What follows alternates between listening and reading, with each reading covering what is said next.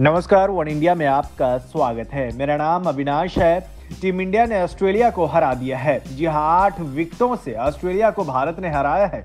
Melbourne test match में रहाने की टोली ने ऑस्ट्रेलिया की सबसे मज़बूत टीम को हराया है, जिसमें स्टीवन स्मिथ और मार्नस लबुशेन जैसे खिलाड़ी मौजूद थे। इस जीत के साथ ही भारत ने सीरीज़ में एक एक से बराबरी कर ली है। साथ ही जीत के हीरो अजिंक रहाने रहे, जिन्होंने अपनी कप्तानी में ऑस्ट्रेलिया में पहली जीत हासिल की। साथ ही लगातार ये उनकी तीसरी कप्तानी जीत भी है। अब तक रहाने की कप्तानी में टीम इंडिया ने कभी टेस्ट मैच नहीं हारा है। टॉस जीतकर पहले बल्लेबाजी करने उतरी ऑस्ट्रेलिया टीम की शुरुआत हमेशा की तरह खराब रही। जो बंस और मैथ्यू वेड की जोड़ी एक बार फिर से फ्लॉप साबित हुई। जो बंस खाता नहीं खोल पाए, जबकि लबुशेन ने पहली पारी में सबसे अधिक 48 रन बनाए।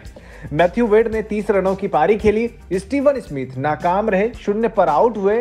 अश्विन ने उन्हें आउट किया। ऑस्ट्रेलिया की पहली पारी मात्र एक सौ पंचानवे रनों पर सिमट गई। जवाब में भारत ने पहली पारी में 326 रन बना दिए। भारत ने कप्तान अजिंक्य रहाने के 112 रनों की पारी के दम पर 131 रनों की अहम बढ़त हासिल की।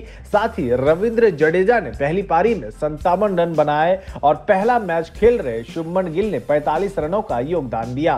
इसके बाद दूसरी पारी में ऑस्ट्रेलिया टीम एक बार फिर से धराशायी हो गई।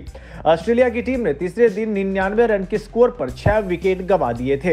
एक समय टीम पर पारी की हार का खतरा मंडरा रहा था, लेकिन दूसरा मैच खेल रहे कैमरन ग्रीन और पैट कमिंस ने मिलकर टीम को इस मुश्किल से निकाला।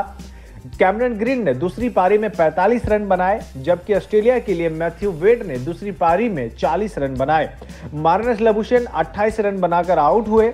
किसी तरह ऑस्ट्रेलिया 200 रन ही दूसरी पारी में बना सकी और भारत को जीत के लिए 70 रनों का टारगेट मिला, जिसे दो विकेट खोकर टीम इंडिया ने हासिल कर लिया।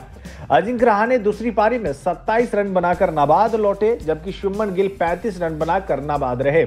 और इस तरह मेलबर्न टेस्ट मैच में भारत ने इतिहास रच दिया। रहाने को प्लेयर ऑफ़ द मैच के अवार्ड से नवाजा गया, जबकि जसप्रीत बुमराह ने इस मैच में कुल छह विकेट हासिल किए, वहीं आर अश्विन ने पाँच विकेट चटकाए। इस खबर में बस इतना ही, तमाम अपडेट्स के लिए बने रहिए वन इंडिया के साथ।